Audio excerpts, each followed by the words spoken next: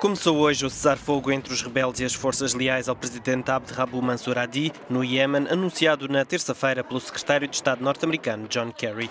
Um dia antes das tréguas, registrou-se um escalar dos confrontos entre as duas fações, em especial na cidade de Taiz. Segundo fontes militares citadas pela agência France Presse, pelo menos 51 combatentes de ambos os lados morreram nos dois últimos dias. As tréguas anunciadas na terça-feira tiveram o apoio da coligação liderada pela Arábia Saudita, pelos rebeldes Houthis e pelo seu principal aliado, o partido do antigo presidente Ali Abdallah Saleh. O acordo de paz foi, no entanto, rejeitado pelo governo de Mansur Hadi. O presidente exilado em Riad considera ter sido ignorado durante as conversações.